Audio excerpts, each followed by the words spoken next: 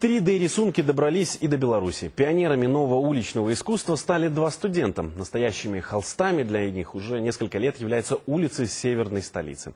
Видеть рисунки в 3D без специальных очков научился и наш корреспондент Александр Свирский.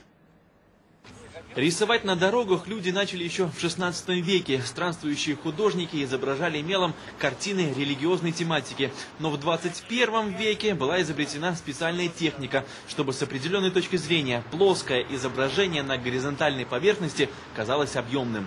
Многие не понимают, могут фотографировать не с нужного ракурса, не все доходят. Но в основном как бы уже постепенно начали как-то все понимать, что, что, где, как. Людям интересно, то есть, ну, есть люди, которые заинтересованы в этом, и ну, есть для кого трудиться, есть для кого стараться работать. Витебские художники хоть и молоды и рисуют на асфальте только второй год, но уже заняли второе место на международном фестивале в Санкт-Петербурге. В северной столице их уже начинают узнавать в лицо. Необычные рисунки на городских улицах теперь воспринимаются не как возвращение в детство, а как авангардное искусство.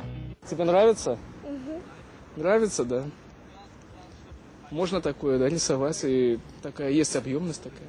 Это так просто вытянутое изображение, но с определенной точки человек должен взаимодействовать с э, рисунком нашим.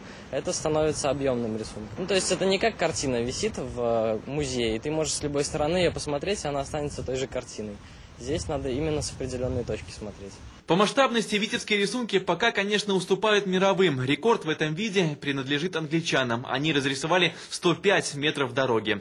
В копилку белорусского дуэта пока 20 работ. Правда, все они сохранились только в памяти или на фотографиях.